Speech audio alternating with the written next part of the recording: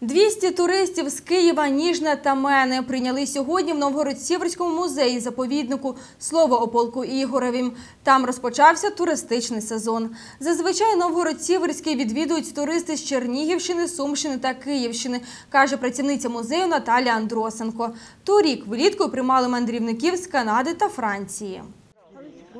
Туристи з Києва фотографуються, прямують до музею. Групу супроводжує Сергій Лисенко. Каже, це працівники столичних архівів. 40 чоловік приїхали сьогодні, щоб познайомитись з вашим чудовим Новгородом Сіверським. Поки дорослі кияни оглядають музейні експонати, діти приміряють вбрання князівських часів. У нас як княгиня Ольга. Бач, як гарно. Ця група туристів з Києва вперше на Новгород-Сіверщині. Я думаю, що це буде певним відкриттям для багатьох. Я думаю, для фактично для всіх. Туристів з мене зібрала Віра Барановська. В Новгороді Сіверському вона втретє. Каже, цього разу запросила друзів та родичів. С каждым приездом, конечно, есть что-то новое. Но сегодня у моей кре- крестницы еще день рождения, поэтому это своеобразный ей подарок. Минян зацікавило монастирське підземелля. Да, если, то, если раньше они были высокие.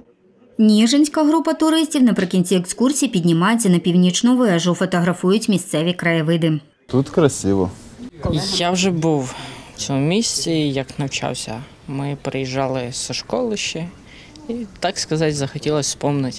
Новгородцівські музейники починають туристичний сезон в травні, розповідає Наталія Андросенко. Саме в цей час мандрівників більшає.